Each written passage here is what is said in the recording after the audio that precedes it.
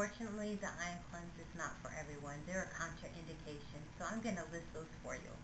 If you wear a pacemaker or any kind of electrical implant, or if you're currently taking heartbeat regulating meds or blood thinners, and if you're pregnant or a lactating